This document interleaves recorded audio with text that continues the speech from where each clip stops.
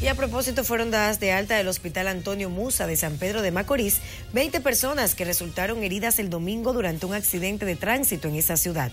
El accidente ocurrió en la entrada del Batey Don Juan próximo al cruce de la autovía del Este. Una jipeta blanca dando una vuelta en hoy. Sí. Entonces de repente se me paró una, una camioneta cargada de señora y niños y cosas. Yo traté de defenderlo porque yo le doy lo que iba a hacer una mamá, matarlo todito.